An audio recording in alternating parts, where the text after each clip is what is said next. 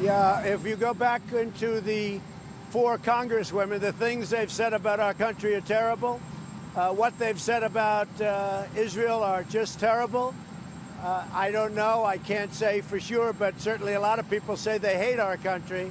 And I think it's a disgrace what they've said. I think you can't talk that way about the United States. And I think, frankly, to say that about Israel, you know, we just gave the embassy in Jerusalem making Jerusalem the capital of Israel. I just gave Golan Heights, recognized Golan Heights for Israel. I've done all of this for Israel. And then you have these people. I think that Omar, I find it hard to believe, but I hear Omar today put in, or yesterday put in, a uh, sanctions bill against Israel and other things beyond sanctions. So when I hear that, you just can't talk about our country that way. And when people are angry at them, I fully understand it. That this political feud that you're having with Congressman Omar and the rest of those Democrats that you is a good thing politically for you, or do you think it turns people off? I don't know if it's good or bad politically. I don't care. But when people are speaking so badly, when they call our country garbage, think of that. That's worse than deplorable. When they call our country garbage, I don't care about politics. I don't care if it's good or bad about politics. Many people say it's good. I don't know if it's good or bad. I can tell you this you can't talk that way about our country. Not when I'm the president. So I think they've said horrible things. Uh, they're anti Semitic. And you look at the kind of statements they've made about Israel, it's a disgrace. Mr. President, uh, they have First Amendment rights to say what they want about our country. That's what the Constitution guarantees. Do you see not agreeing with you as the same thing as hating the country, sir? Yeah, they have First Amendment rights, but that doesn't mean I'm happy about them saying. And when they say bad things about us, we can certainly feel, and again, we have First Amendment rights also, we can certainly feel what and say what we want. Yeah, go ahead, Steve. Say it, Steve.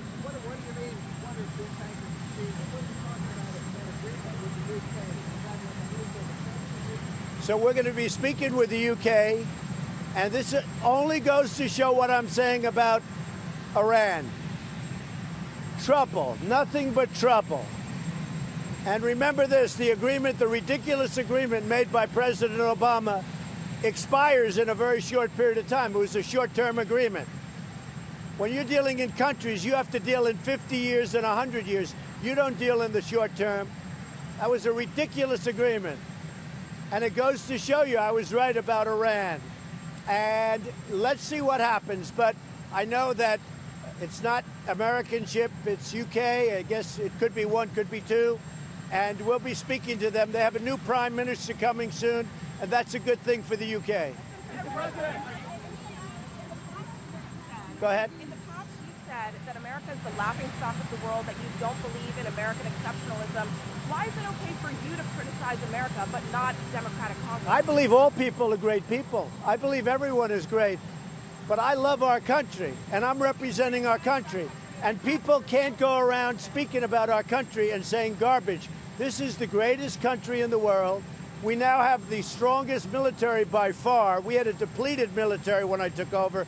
We spent $716 billion last year, $700 billion a year before we have a great, powerful military, more powerful than we've ever had before. We have the greatest economy on earth, not even close. You can't speak about our country the way those four congressmen, they said garbage.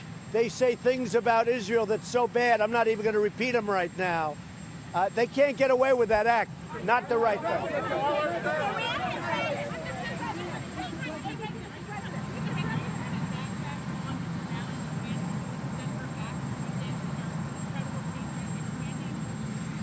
These women have said horrible things about our country and the people of our country.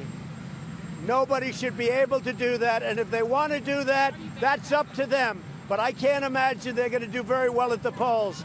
And I say this if the Democrats want to embrace people that hate our country, people that are far so far left that nobody's ever seen it, anything like it, if they want to embrace people that are so anti Semitic and anti Israel. They want to do that. That's up to them. But I don't have to do that. I think what they say and what they've said is a disgrace to them, to the Democrats, and frankly to our country. Long time ago, yeah, 15 years ago. I had a fall ago. Well, uh, I didn't get along with him. David? Wait, wait.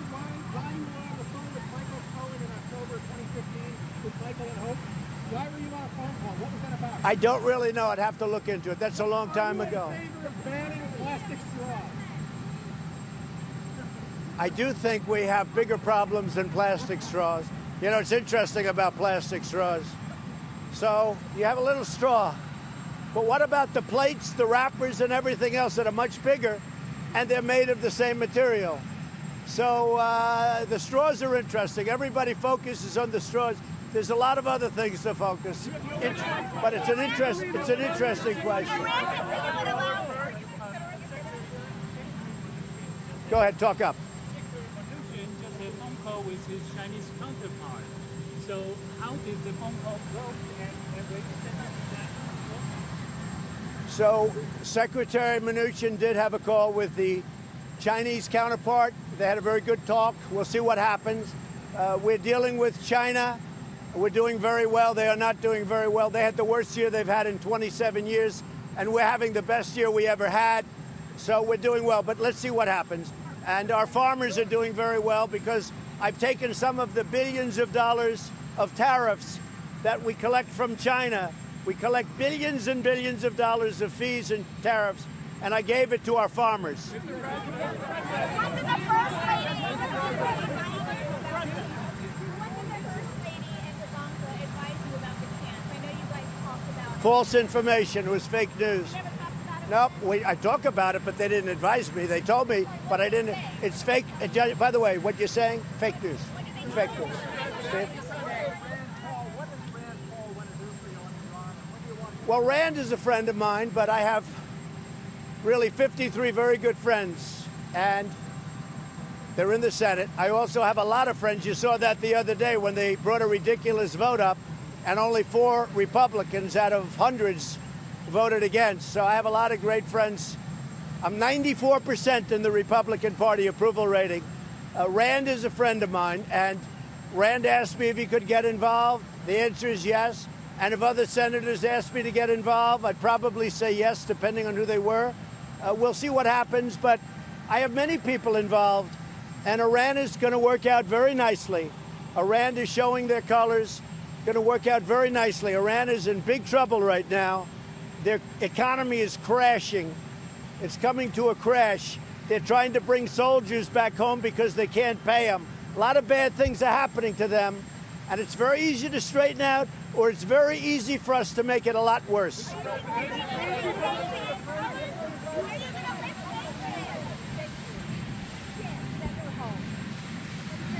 Say it. No, you know what's racist to me? When somebody goes out and says the horrible things about our country, the people of our country, that are anti Semitic, that hate everybody, that speak with scorn and hate, that to me is really a very dangerous thing.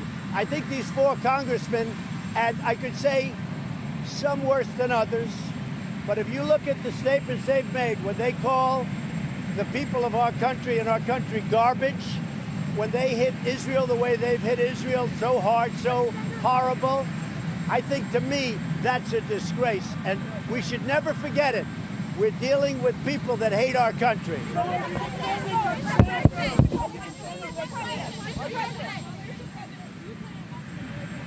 No, I don't. I don't. Let me tell you. They had an impeachment vote the other day, just a big waste of time.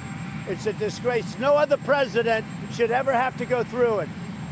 And the vote was a totally lopsided vote with many Democrats voting in favor. As far as I'm concerned, they already took their impeachment vote. And the impeachment vote was so lopsided. It was a it was a massive victory. And you know what?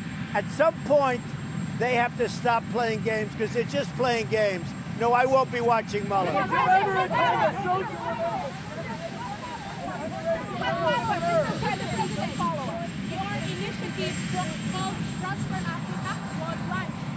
Good opportunity to speak with many African leaders. They say that's a Good. Opportunity for African countries to, to engage more and Right. work with the United States. But the president of Zimbabwe, he said that because of the sanctions that the U.S. imposed on Zimbabwe, they cannot. It will be hard for them to work with you guys. We're looking at Zimbabwe right now. Go ahead. The First Lady feels very strongly about our country. The First Lady thinks that it's horrible what they've said about Israel and horrible what they've said about our country, these congresswomen. They can't call our country and our people garbage. They can't be anti Semitic. They can't talk about evil Jews, which is what they say evil Jews. That's what the First Lady.